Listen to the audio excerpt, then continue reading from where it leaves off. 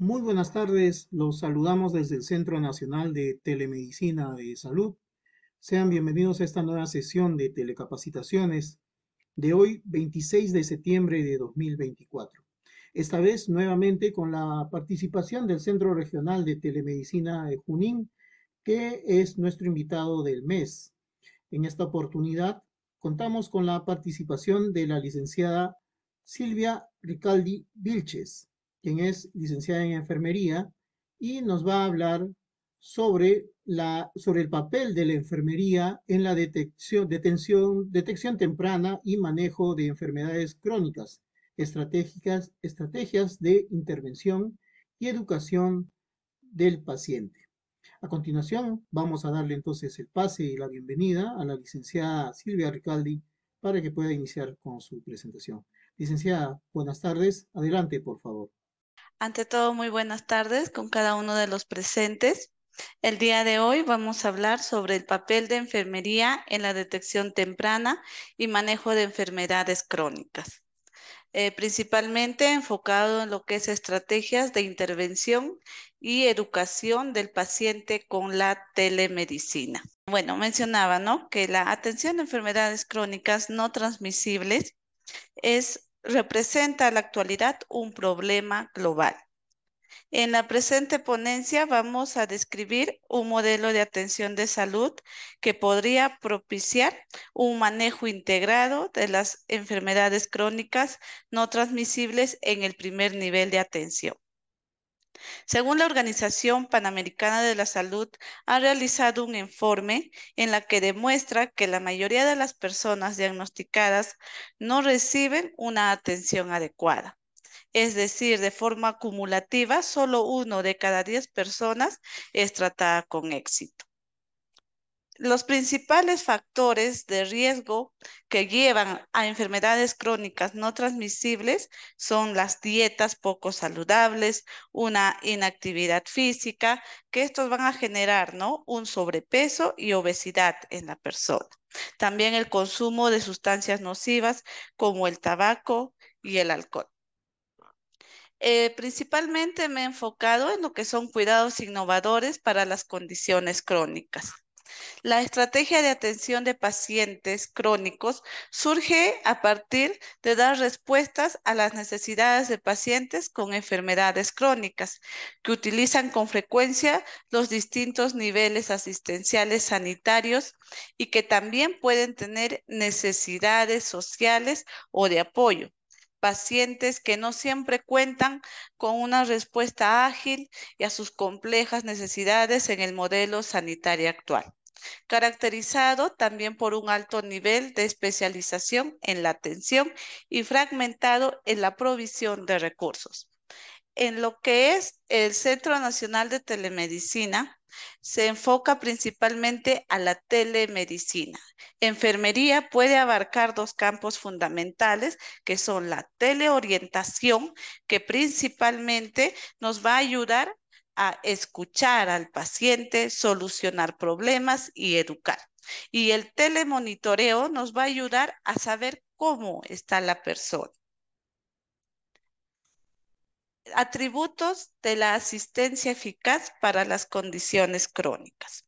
Como se describe en la siguiente tabla, los modelos de atención de salud integrados que van más allá de enfermedades específicas y coloca al paciente como un objetivo principal. Proporciona una solución viable para introducir una atención eficaz. Aquí vemos la principal diferencia de una atención anticuada a una atención eficaz. Por ejemplo, no una atención anticuada está centrada en la enfermedad, solamente en ver las complicaciones de la persona, pero una atención eficaz debe estar centrada en el paciente, como ver su lado holístico, en lo físico, mental y en lo social. En una atención anticuada se ve lo que es una atención hospitalizada, especializada y hospitalaria. Cuando la persona recién está complicada, ¿no? Y vemos la forma de controlar estas molestias. Pero en una atención eficaz debemos de verlo centrado con base a la atención primaria. Por ejemplo, tener una enfermedad crónica no transmisible controlada. También una atención anticuada está centrada en los pacientes individualmente, pero una atención eficaz debe estar centrada en las necesidades de la población. Debemos de llegar a conocer su entorno, conocer a sus cuidadores y sus familiares. Una atención anticuada también es reactiva, que actúa según los síntomas y solo nos centramos ¿no? a dar medicamentos. Pero en una atención eficaz es proactiva y planifica. Cuando una persona logramos el control de enfermedades crónicas no transmisibles, vamos a evitar la aparición de complicaciones. También una atención anticuada está centrada en solo el tratamiento pero una atención eficaz debe de estar centrada en la prevención, ayudar en la práctica de estilos de vida saludables. También vamos a ver competencias básicas para la atención a enfermedades crónicas. Principalmente está centrado uno en la atención centrada en el paciente. Debemos de buscar conocer a la persona, saber sus factores de riesgo, su entorno, conocer su esencia, ¿no? Como ser. Y esto nos va a ayudar a modificar principalmente sus hábitos. También está la cooperación que debemos de buscar un trabajo en equipo, tanto paciente, familia o cuidador y la comunidad. Mejora de la calidad. Es la medición debemos de realizar una autoevaluación constante, ayudando al aprendizaje y adaptación a cambios. Y también una puesta en práctica de nuestros conocimientos como profesionales. La tecnología de la información y la comunicación. Aquí vamos a ver un diseño y uso, por ejemplo, ¿no? De historias clínicas virtuales, buscar el expediente de nuestros pacientes y, por qué no, también tener un registro de nuestros pacientes. También ayudar a la comunicación con los servicios asociados y lograr unas teleinterconsultas con los especialistas. Aquí nos ayuda bastante, ¿no? La tecnología, el avance de la tecnología y podemos lograr que un paciente pueda tener atención no solamente con medicina general, sino también, por ejemplo, con cardiología, endocrinología u otros servicios como nutrición, psicología o terapia física. También vemos lo que es la perspectiva de salud pública. Aquí está enfocado en la prestación dirigida a la población y con un enfoque basado en los sistemas que en las siguientes diapositivas voy a ir describiendo. A continuación vemos el modelo de cuidados crónicos. Esto parte desde la comunidad con recursos y políticas y el sistema de salud, que es una organización de atención a la salud. Aquí está engloba el apoyo al automanejo, diseño de sistema de atención, apoyo a la toma de decisiones, sistema de información clínica.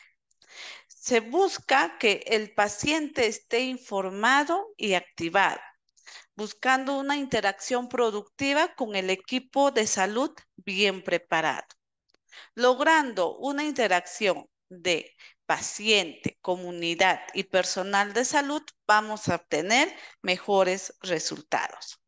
A continuación vamos a ir viendo cada uno de los sistemas de salud. Apoyo al automanejo. Las acciones claves para poder lograr el apoyo al automanejo principalmente está en asegurar la participación del paciente. Debemos de integrarlo. Una vez que captamos un paciente nuevo de, con enfermedad crónica no transmisible, debemos de integrarlo a nuestro programa. También debemos utilizar las visitas grupales. Por ejemplo, no invitarlo a las actividades que se realicen en eventos festivos dentro de la comunidad o dentro de nuestra institución. También debemos de desarrollar habilidades de autocontrol. Esto nos va a ayudar al manejo de la salud y las emociones. También debemos de promover habilidades de comunicación es decir, una intervención educativa. Negociar los objetivos de tratamiento. Debemos hacer que nuestro paciente llegue a, conocer el por qué, si, qué podría pasar si descuida su tratamiento, conocer las complicaciones a corto y a largo plazo debemos de estimular el autocuidado y el automonitoreo. En aquí vamos a ingresar a educar el control principalmente, ¿no? Por ejemplo, de la glucosa, presión arterial. Y va a haber pacientes que van a poder tener la accesibilidad de adquirir estos equipos. Entonces, nosotros debemos de orientarlos al uso adecuado del tensiómetro, del glucómetro, saber en qué momento se pueden controlar, ¿no? Y de qué manera. También debemos de promover la modificación del medio ambiente. Aquí debemos de cuidar el entorno saludable del paciente, tanto familiar como ambiental. Debemos de asegurar la autorrecompensa. Aquí debemos de considerar que si el paciente debe conocer que si mantiene un control de las enfermedades crónicas no transmisibles, principalmente teniendo un cuidado con su tratamiento, de vez en cuando, ¿no? Va a poder tener alguna, este, va a poder consumir algún alimento que muchas veces les restringimos y les decimos, no puedes consumir, por ejemplo, nada de carne, nada de grasa, nada de dulces. Pero cuando la persona tiene el momento de consumir, muchas veces no se sabe autocontrolar pero si sabe que está llevando un tratamiento adecuado, se está cuidando con los controles, va a poder también tener el control de consumir de manera adecuada estos alimentos.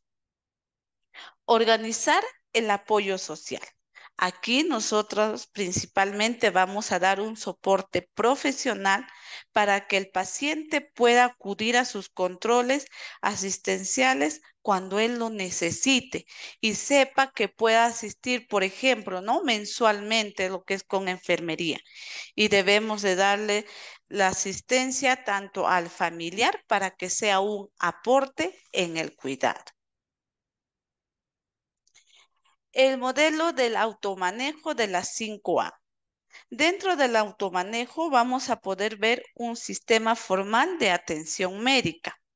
Dentro de las 5 A tenemos averiguar.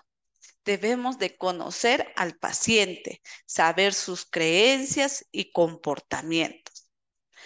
Debemos de aconsejar, dar un aporte de información específica acerca del riesgo de la salud es decir, por ejemplo, ¿no? Que conozca las complicaciones y los beneficios potenciales del cambio, principalmente en un apoyo de cambios de estilos de vida saludable. Debemos de acordar que el paciente debe establecer objetivos en colaboración con el personal de salud, teniendo en cuenta sus preferencias. Aquí el paciente se debe de sentir cómodo con la modificación de hábitos y también no ayudarlo, por ejemplo, a tener horarios adecuados para su tratamiento y buscar estrategias para que no se olvide tomar sus medicinas. Debemos de asistir dar un enfoque positivo para resolver problemas, que identifique barreras potenciales y estrategias o recursos para superarlos. Debemos de darle la mayor confianza al paciente. Arreglar, dar un plan de seguimientos. Y aquí principalmente debemos de motivar al paciente para que pueda asistir a sus controles. En el siguiente sistema de salud tenemos el diseño del sistema de atención. Principalmente las acciones claves para el diseño del sistema de atención están organizar la atención alrededor de la atención primaria. Aquí debemos de realizarnos una autoevaluación como profesional y como institución prestadora de servicios. Debemos de definir funciones, enfocar un trabajo en equipo para cumplir objetivos. Debemos de asegurar una atención proactiva, es decir, proponer y emprender cambios. Debemos de usar, asegurar, a ver, usar clasificación del riesgo. Debemos de trabajar en función al paciente. Debemos de tomar en cuenta que cada persona es muy distinta y debemos de realizar un seguimiento personalizado. Asegurar un manejo de casos. Es decir, cada persona nos va a ir presentando diferentes comorbilidades y también debemos trabajar en función a ello. Brindar una atención que los pacientes comprendan. Debemos de utilizar herramientas propias a la zona, a la persona, con el lenguaje y con el trato. Muchas veces conociendo ya a nuestros pacientes, vamos a saber, ¿no? Eh, de tratarlo de una manera más amigable o también más respetuosa. Entonces, también tenemos que considerar los grados de instrucción de cada uno de nuestros pacientes. Desarrollar redes de prestación de servicios. Aquí debemos de realizar los convenios para poder realizar, por ejemplo, las campañas de atención integral, y también se puede coordinar las citas médicas con el paciente para ayudar a gestionar sus controles. En el siguiente gráfico tenemos la gestión de población. Según la promoción y prevención, tenemos ¿no? a toda nuestra población en general con las cuales debemos de trabajar. Luego tenemos pacientes crónicos que representa un aproximado de un 70-80%, quienes van a requerir un soporte de autogestión. Entonces, entramos eh, como un apoyo al autocuidado. Luego tenemos pacientes de alto riesgo, que son ya un aproximado del 15% son personas que, por ejemplo, no van a estar desarrollando comorbilidades. Entonces van a tener la, van a requerir una atención de gestión de la enfermedad, donde engloba el autocuidado y cuidados profesionales. Y luego tenemos pacientes de alta complejidad, que representaría un 5%, que serían personas que ya estarían más con un soporte profesional y, por qué no decir, especializados. Como siguiente tenemos el apoyo a la toma de decisiones. Las acciones claves para poder desarrollar el apoyo a la toma de decisiones es divulgar guías de práctica clínica, es decir, educar al paciente sobre la enfermedad, manejo y cuidados. Utilizar metodología técnicamente robusta. Aquí ingresa, ¿no? Utilizar un lenguaje accesible hacia el paciente. Integrar la atención por especialistas. Aquí debemos de facilitar al paciente a las interconsultas y controles, no solamente con medicina general, sino también con especialidades. Compartir guías de práctica clínica con los pacientes. En aquí nos va a ayudar que el paciente conozca y le demos las herramientas que podrá tener la capacidad de elegir los cuidados. En el siguiente tenemos sistemas de información clínica. Las acciones claves para que pueda desarrollarse los sistemas de información clínica va a ser monitorear la respuesta al tratamiento. Esto vamos a lograr principalmente con los controles mensuales que realicemos a nuestros pacientes. Supervisión individual y grupal del paciente.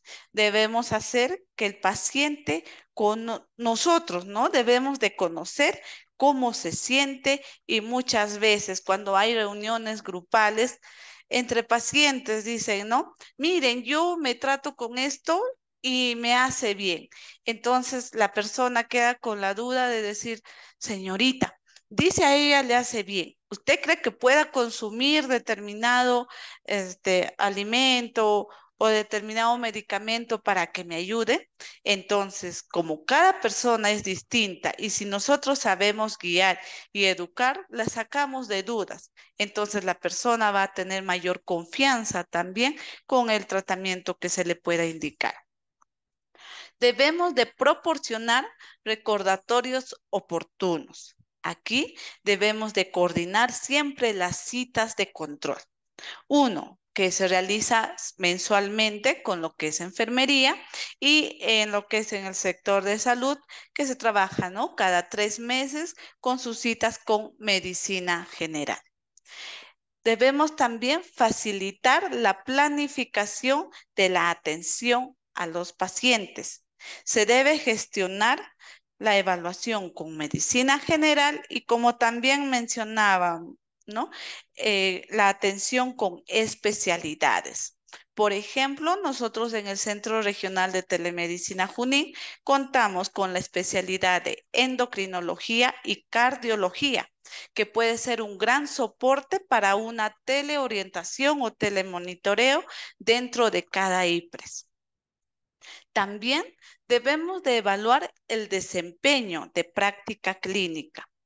Debo conocer cómo están mis pacientes, si están controlados, si se complicaron y tal vez buscar una práctica de una atención de calidad.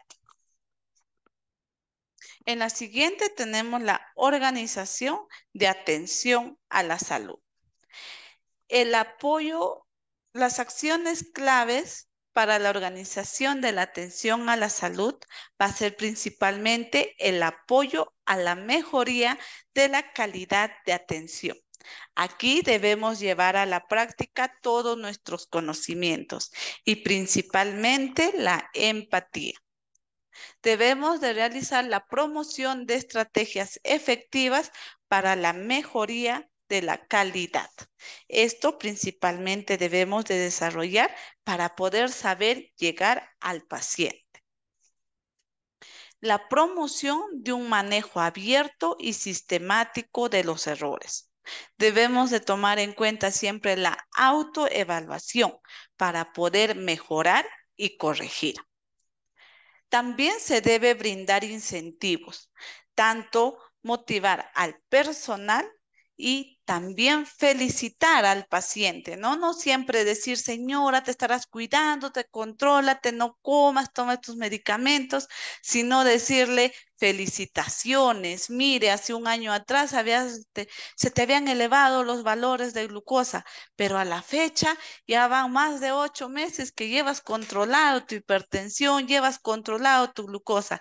Entonces la persona, el paciente se siente motivado. Debemos de desarrollar acuerdos que faciliten la coordinación. Aquí siempre, ¿no? Ir gestionando interconsultas y campañas de salud integral. En el enfoque de comunidad están los recursos y políticas comunitarias. Las acciones claves para desarrollar los recursos y políticas comunitarias principalmente está en animar a los pacientes a participar en los programas comunitarios. Debemos invitarlos a las reuniones sociales, reuniones grupales que se vayan desarrollando dentro de nuestra institución y comunidad. Debemos de crear alianzas con organizaciones comunitarias incentivando a la participación de eventos generalmente sociales. También está el uso del recurso humano. Aquí debemos fomentar recalcando una vez más la atención integral con medicina general, medicinas de especialidades, también con terapia física, psicología y nutrición. El automanejo y el apoyo social. Aquí debemos de conseguir una enfermedad crónica no transmisible controlada. A continuación vemos el marco para la atención innovadora de enfermedades crónicas. Como base se busca un enlace entre agentes de la comunidad, equipo de atención, que es el personal de salud, y el paciente y familiares, logrando una preparación, que el paciente esté informado y motivado, que trabajen en conjunto con un entorno, vamos a lograr unas políticas positivas. Todo este enlace de comunidad y persona, paciente y personal de salud nos va a ayudar a lograr mejores resultados para las condiciones crónicas. A continuación, vemos una serie de mejoría rápida en la atención de pacientes crónicos. Tenemos los sistemas de información clínica. Aquí debemos de considerar las bases de datos y las historias clínicas virtuales que debemos de ir implementando. El apoyo a la toma de decisiones. Conociendo a nuestro paciente, vamos a poder orientarlo a tomar las mejores decisiones. El diseño del sistema de atención. Aquí principalmente está la intervención de nosotros como profesionales de la salud. Apoyo al autocuidado. Aquí vamos a ser el principal guía para dar las herramientas para el control de enfermedades crónicas no transmisibles. Recursos comunitarios. Tenemos que buscar un apoyo y participación en la población. Apoyo organizativo. Es principalmente la, lograr ¿no? la atención integral. De todo cuanto he podido manifestar, llego a las conclusiones. Uno, implementar el modelo de cuidados crónicos con la telemedicina. Aquí, en lo que es el Centro Regional de Telemedicina, conjuntamente con el Centro Nacional de Telemedicina, se ha implementado el Telecrom, que es el seguimiento de pacientes crónicos y principalmente enfocado con la enfermería está la teleorientación y el telemonitoreo. También debemos de garantizar un enfoque centrado en el paciente. Como manifestaba en la ponencia, debemos de ver a la persona como un ser físico, psicológico y social debemos de introducir el apoyo sistemático. Aquí está la TeleIC, que es la teleinformación, teleeducación y telecomunicación. Debemos de orientar la atención hacia el cuidado. Debemos de enfocarnos en la prevención, promoción y seguimiento de nuestro paciente para lograr una enfermedad crónica no transmisible controlada. Y debemos de reorganizar la atención en equipos multidisciplinarios, como las teleinterconsultas.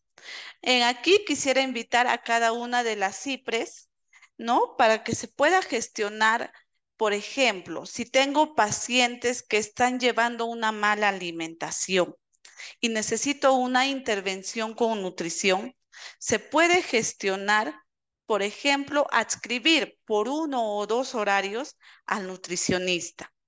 También si tengo pacientes que muchas veces han perdido algún familiar, se han quedado solos, los veo generalmente tristes, podemos pasarlos con una, una teleorientación con psicología. No necesariamente debemos de ver, ¿no? Que este, el personal debe de estar allá para la atención, no. Gracias al avance de la tecnología se está logrando que por medio de la telemedicina se pueda llegar a estos pacientes sin la necesidad de estar presentes, sino también por las teleinterconsultas. Quisiera resaltar que con todos estos sistemas van de la mano con una medicina del futuro, que es la telemedicina. El Centro Regional de Telemedicina de Junín está al servicio de cada IPRES para poder ir gestionando la atención y seguimiento de nuestros pacientes asegurados, principalmente con enfermedades crónicas no transmisibles. Esto cuanto he podido manifestar. Muchísimas gracias por su atención y más bien quisiera saber si hay alguna duda. Al parecer, eh, no tenemos en esta oportunidad preguntas de parte del público, por lo que vamos dando por concluida la presente telecapacitación. Licenciada, por favor, le pediríamos que nos brinde unas palabras finales, una idea a fuerza de la presentación que nos ha eh, hecho esta tarde.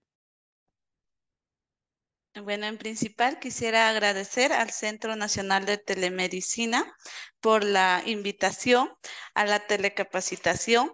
Espero que no sea la primera ni la última.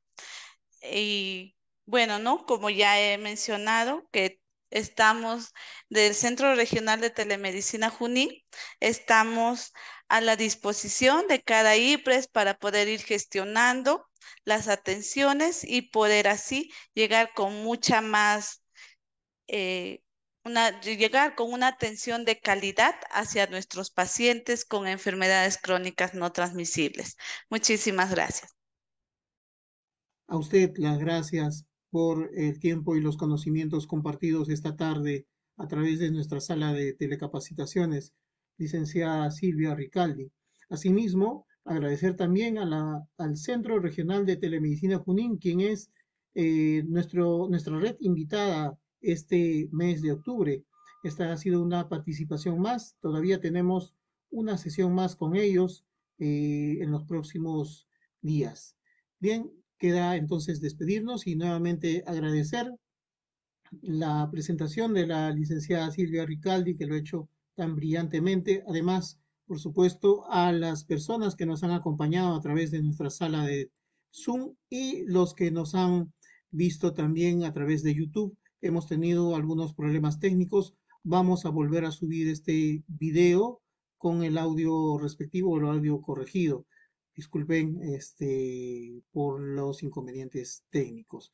Eh, quería recordarles también que hace algunos días, desde la semana pasada, hemos migrado a nuestro canal de difusión, nuestro único canal de difusión en, WhatsApp, que hemos este, enviado eh, oportunamente a ustedes. Por favor, les los invitamos a que se enlacen y compartan eh, la, invitación al canal con sus compañeros y grupos.